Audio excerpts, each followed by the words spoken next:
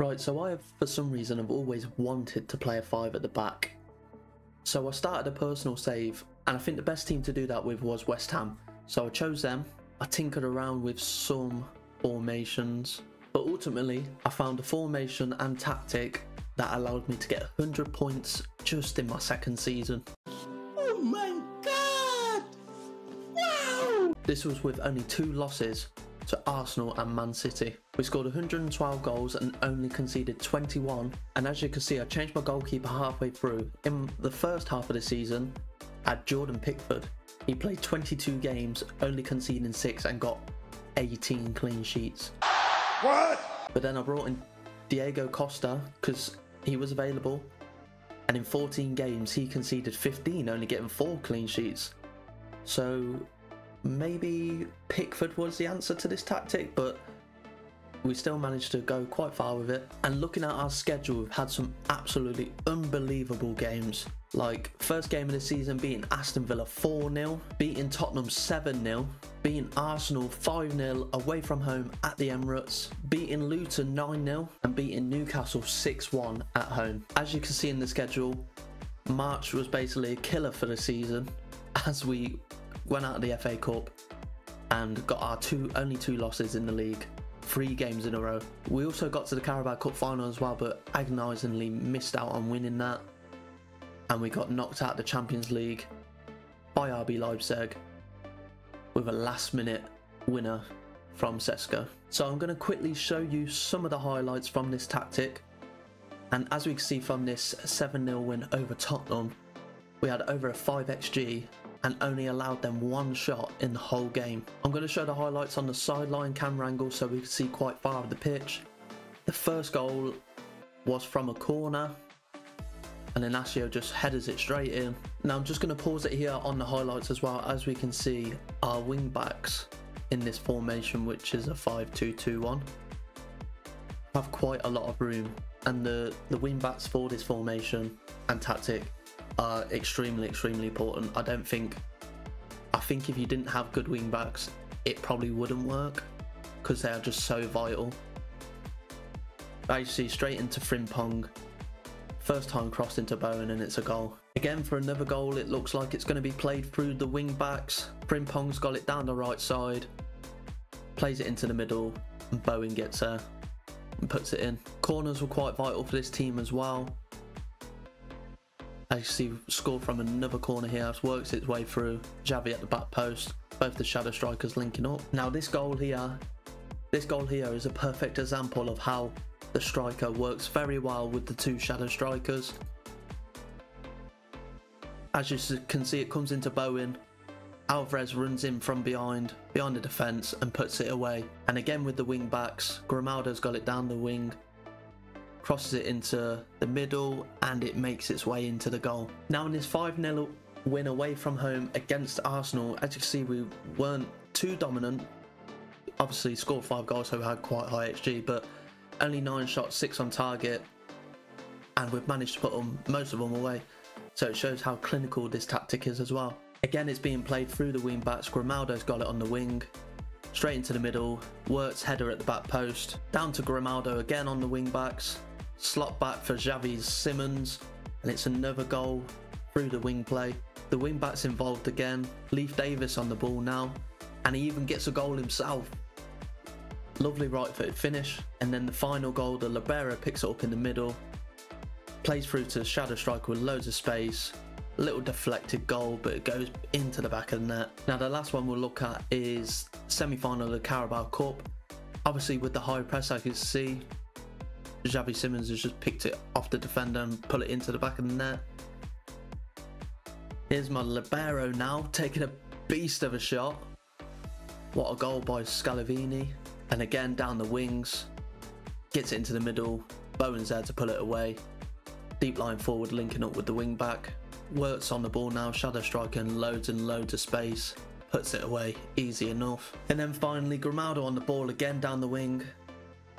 Whips it in, Alvarez with a brilliant header and a brilliant goal. So now looking at the stats of all the players, the ones with all the goals here are obviously a combination of our front players. Got Bowen on 18, Simons on 18, Wirtz on 20, Talisca on 23, and Julian Alvarez on 25. And then if we're looking at assists, Jeremy Frimpong with 20, Wirtz with 16, Grimaldo with 14. So as it obviously it shows you how important these wing backs are. They've got most of our assists. And now finally, let's see how the tactic is set up so you guys at home can implement it into your saves. So this is how it looks. We've got obviously the goalkeeper on sweeper defend. Let's have a quick look at his instructions. There isn't anything on him, it's just basic. We've got the two ball playing defenders either side of the libero with dribble less, shoot less often, and tackle harder on. Libero's got take more risks, dribble less, shoot less often, tackle harder, and mark tighter. Now our wing backs, uh, Frimpong on the right has pass it shorter, shoot less often, and tackle harder. The same on the left side. We've got a halfback here who, when the libero decides to step out, this halfback tends to sit in in his place, and it sort of makes a a 3-1 formation uh, defensively. Makes a 3-1 formation, and this libero sort of pings balls left and right uh, to these two guys here. And João Neves also attacks in the box with these four up here. So for the Segundo Volante, he's on take fewer risks, shoot less often and tackle harder. The two shadow strikers are on shoot less often and tackle harder.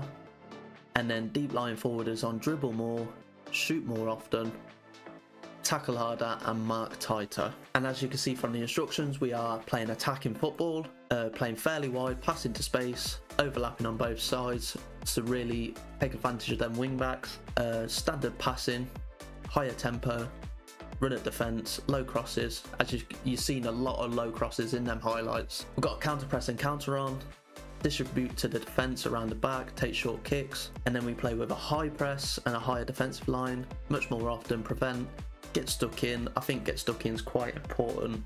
It just really makes you keep the ball a lot more often. Step uh, more up, trap outside and stop crosses. So yeah, obviously as you can see, this tactic in the league was incredible. Um, in the Champions League, we did struggle, obviously, and all the other cups as well. We did good in the Carabao, but then just unfortunately lost the final. But that's the tactic when I'm playing the games. So I sort of wanted to do a test where we could see how it would be if we were simulating the games. Because obviously, with the rebuilds that I do on this channel, we do a lot of simulations.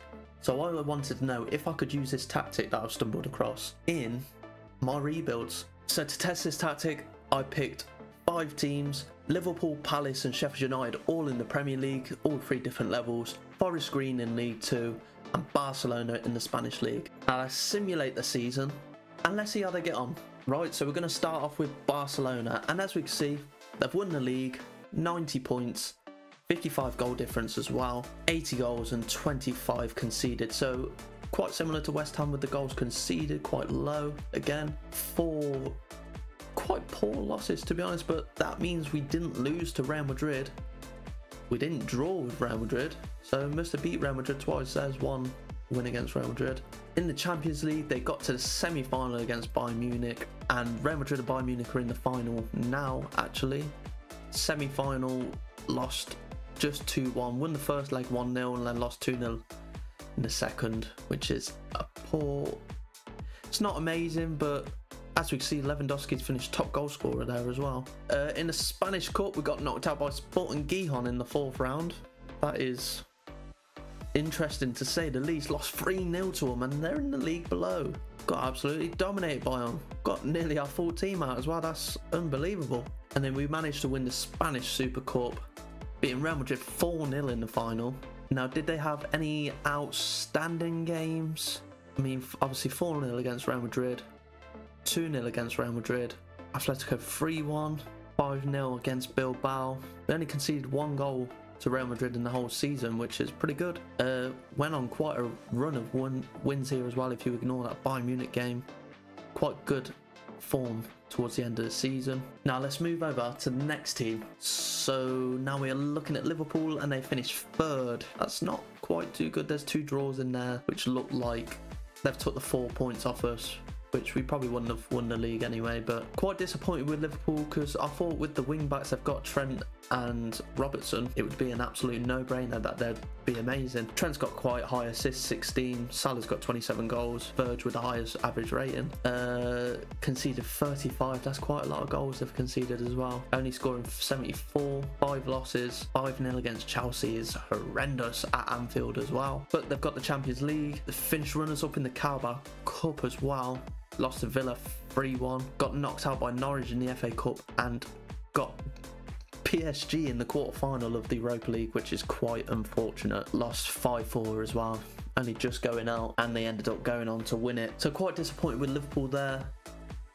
Palace finished mid-table, 53 points is quite a good return for them. Uh, yeah, 51 goals, 49 conceded. Not too many horrendous losses there. Did they have any outstanding wins. 4-3 against Chelsea, which is pretty good going. 3-0 against West Ham's a good win for them. They beat Chelsea both times and also beat Arsenal as well. And knocked Arsenal out of the Carabao Cup also. But yeah, pretty good going from them. But yeah, as we can see, knocked out in the fourth round of both. Pretty average season. Now we've got Sheffield United who survived relegation by four points. So I'd say that's good for them considering they are an extremely poor team. Managed to get 42 goals conceding 67 though. Obviously a lot of the big teams there. And in the competitions they got knocked out in the FA Cup by Coventry, knocked out the Carabao by Leicester City. Now looking at the final team, Forest Green Rovers, they managed to get promotion, which is incredible considering they finished rock bottom in real life this season with Troy Deeney. Uh, they got 80 points, only six off the top. Uh, finished joint with fourth and fifth, but obviously with a better goal difference they have finished above. So they scored 84 goals, which is a great return. 60 goals conceded. Obviously, their defense probably isn't the best, but loads and loads of goals. They got knocked out of all the competitions extremely early, even to non-league Woking. Third in the league is brilliant for them, considering the preview for them was to finish 10th. That is pretty good going. So has this tactic in the simulation worked? It's a bit of a mixed bag. Barcelona, you say it definitely worked. Winning the league over Real Madrid is massive. Getting to a Champions League semi final when they ain't won it since 2015 and have struggled in that competition probably since Liverpool knocked them out in 2019. I'd say that's definitely a success. Forest Green's definitely a success. Getting promoted with them, getting out of League Two is not it's not easy, especially with uh, all the teams that are in there at the minute. Liverpool, extremely, I think that's really disappointing. Obviously, Europa League, that is just unfortunate could beat them, could lose them. Probably could have won the Carabao Cup. FA Cup definitely should have done better. The league, it's just a lot of draws. Maybe that's what this tactic produces is a lot of draws. If you were going to play a save day by day, I think this tactic is absolutely perfect. Watching it, playing a whole two seasons with it that I have now with West Ham, it provides some really, really fun bits of gameplay, especially using them wingers a lot. A lot of interplay with them front three as well. It's like beautiful to watch honestly some great football. And I've wanted to use five at the back for so long, and it's never really worked until this season's FM. But yeah, definitely try this tactic out in your saves. Let me know how it gets on for you. If you enjoyed this video, leave it a like and comment how you did with this tactic, and I'll catch you in the next one.